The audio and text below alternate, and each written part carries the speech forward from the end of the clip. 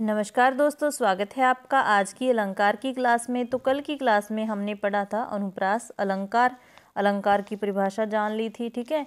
तो आज हम पढ़ेंगे यमक अलंकार, शलेश अलंकार, ब्रोकोक्ति अलंकार और बीपसा अलंकार। बच्चों को दिक्कत रहती है यमक और शलेश अलंकार में। आपने क्लास को पूरा देखना है, उसके बाद निष्कर्ष निकालना है कि आपको समझ आया कि नहीं। मैं दावा करती हूँ कि जिस बच्चे ने क्लास पूरी देख ली, उसे कोई प्रॉब्लम रहेगी रहेगी ही नहीं यमक और श्लेष को समझने में, ठीक है? तो सबसे पहले हम यमक अलंकार को देखते हैं। मैंने काफ़ी सारे उदाहरण लिए हैं, आपको अच्छे से समझ आ जाएगा। और अगर समझ आया तो लाइक भी करना है और एक प्यारा सा कमेंट भी देना है। यहाँ कोई शब्द एक से अधिक बार आवे और प्रत्येक स्थान पर भिन्न भिन्न अर्थ दे वहाँ पर क्या होता है? यमक अलंकार होता है। ठीक है? वहाँ पर क्या होता है? यमक अलंकार होता है। तो यमक का अर्थ क्या होता है? दो। ये भी याद रखना है, क्योंकि कभी अर्थ भी पूछा जा सकता है कि यमक का अर्थ होता है दो। ठीक है? अब उदाहरण से समझते हैं। जेते तुम तारे, तेते नब में तारे। यहाँ पर तारे आया है, यहाँ पर भी तारे आया है। तो एक शब्द दो बार आया, लेकिन दोनों बार क्या है? इसका अर्थ अलग है। दोनों बार इसका अर्थ अलग है। जेते तुम तारे, ये प्रभु के लिए बात हो रही है कि जितने लोगों को प्रभु ने तारा है, आपने तारा है, उतने तो आसमान में तारे भी नहीं हैं। इसका मतलब है। तो यहाँ पर जो तारे शब्द है, इसका मतलब है उद्धार करना, ठीक है?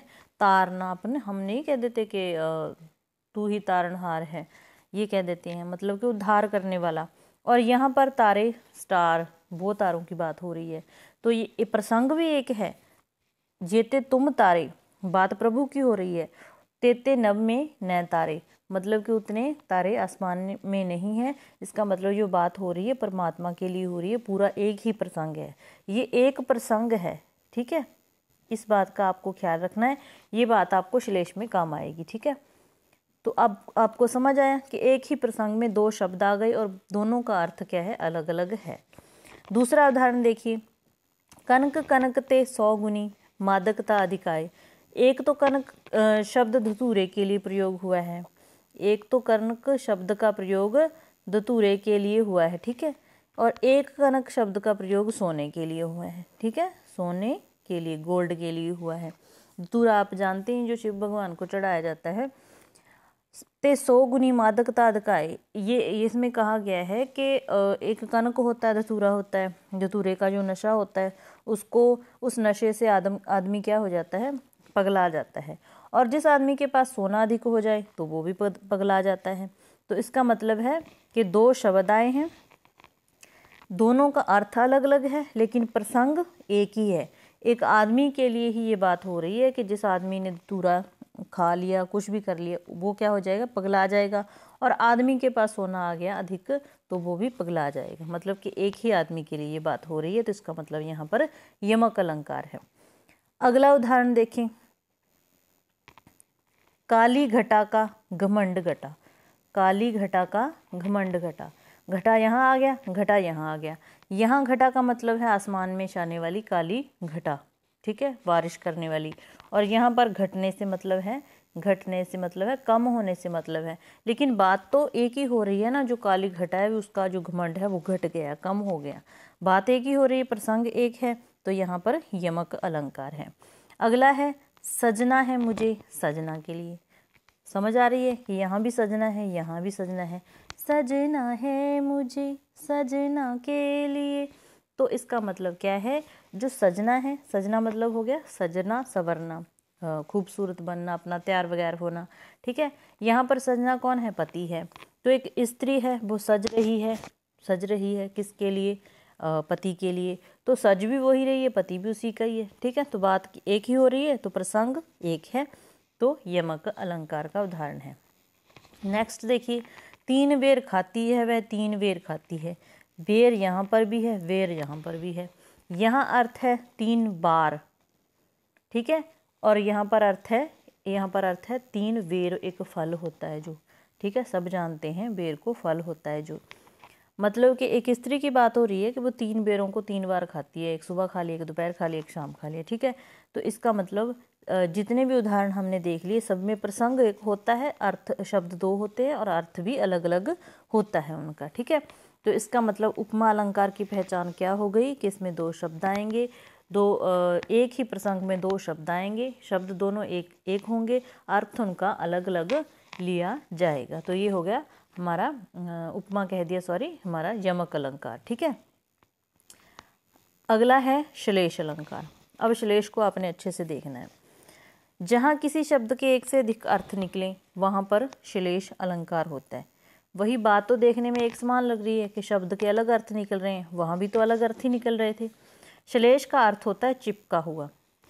श्लेष का अर्थ होता है चिपका हुआ, इसका भी अर्थ आपको याद रखना है। श्लेष के दो भेद होते हैं, ये भी अच्छे से याद रखना। अभंग श्लेष और सैभंग श्लेष ठीक है? अब उदाहरण से समझिए यमक और श्लेष में अंतर। रहमन पानी राखिए, बिन पानी सब सून, पानी गए न उभरे मोती मानस मानुष चून ठीक है? यहाँ क्या है? पानी शब्द आया है, पानी शब्द आया है, पानी शब्द आया है। तीनों का जो अर्थ मतलब कि अलग अलग है ना? अगर हम देखें तो यहाँ पर भी तीन अर्थ निकाले हैं, यहाँ पर भी तीन और यहाँ तर, पर भी तीन, ठीक है?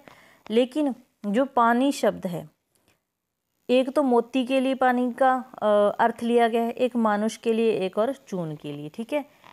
आपने ध्यान रखना है कि जहाँ पर भी श्लेष अलंकार होगा, उसकी पंक्ति में पीछे ऐसे दो तीन मतलब के अलग से शब्द लिखे होंगे एक तो जिनके लिए उस शब्द के अर्थ का प्रयोग होगा, ठीक है? जैसे पान, रहमन पानी राखिए। पा, बिन पानी सब चून, पानी गए न उभरा, मोती मानुष मानुष चून। मतलब मोती चमक के बिना एक पानी का अर्थ है, चमक हो गया, ठीक है? चमक के बिना मोती का कोई मोल नहीं। जिस इंसान की इज़्ज़त नहीं है, वो कोई इंसान नहीं है। मानुष के लिए इज़्ज़त शब्द हो गया। इज़्ज़त का पानी का अर्थ इज़्ज़त लिया गया है। इज़्ज़त, सम्मान, स्वाभिमान, कुछ भी कह लीजिए, ठीक है? चाहे आप विनम्रता कह लीजिए।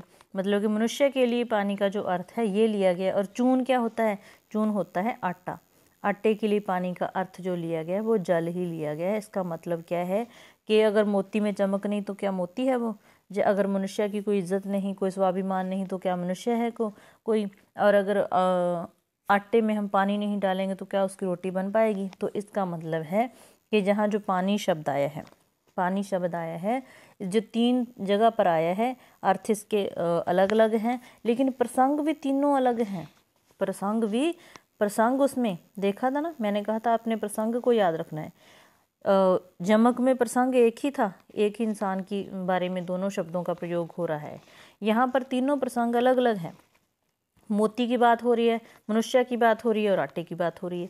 तीनों प्रसंग अलग है और तीनों जगह पानी का अर्थ जो लिया गया है अलग अलग इस प्रकार से लिया गया है। तो आपको उम्मीद है, समझ आया होगा कि श्लेष अलंकार में आपको प्रसंग भी अलग अलग मिलेंगे। जिस प्रकार से शब्द का प्रयोग हो रहा है, वो प्रसंग भी आपको अलग अलग देखने को मिलेंगे। अगला उदाहरण है। चरण धरत शंका करत, चितबत चारियु और सुबरन को ढूंढत फिरत कभी व्यवहारी, व्यविचारी चोर। ठीक है? यहाँ फिर आ गया, कभी आ गया, व्यविचारी आ गया, चोर आ गया। यहाँ पर सुवर्ण सुवर्ण की बात हो रही है। सुवर्ण मतलब क्या होता है? सोना होता है। सोने का अर्थ तीनों जगह पर अलग अलग लिया गया है। ठीक है? सुवर्ण को ढूंढत फिर तो कभी व्यभिचारी सॉरी व्यभिचारी व्यभिचारी ठीक है? व्यभिचारी चोर। मतलब कि कवि कवि से अर्थ लिया गया है सुवर्ण का अच्छे वर्णों से, जिससे कभी कविता करता है, ठीक है? व्यभिचारी एक गंदी सोच वाला व्यक्ति है, जो सुवर्ण का अर्थ लेता है, एक सुंदर स्त्री, गोरी स्त्री से मतलब गोरे रंग से सुवर्ण का अर्थ लेगा, और चोर सुवर्ण का अर्थ लेगा सोने से, ठीक है? तो तीन अलग अलग प्रसंग हो गए और सुवर्ण के तीन अर्थ हो गए, ठीक है? इसका मतलब सुवर्ण में तीन अर्थ चिपके हुए हैं और तीनों अर्थ अर्थ है अलग अलग प्रसंग में प्रयोग हो रहे हैं। कवि के लिए अच्छे वर्णों के रूप में सुवर्ण व्यविचारी के लिए अच्छी सुंदर स्त्री के लिए और चोर के लिए सोने के लिए सुवर्ण का प्रयोग हुआ है। उम्मीद है आपको समझ आई होगी।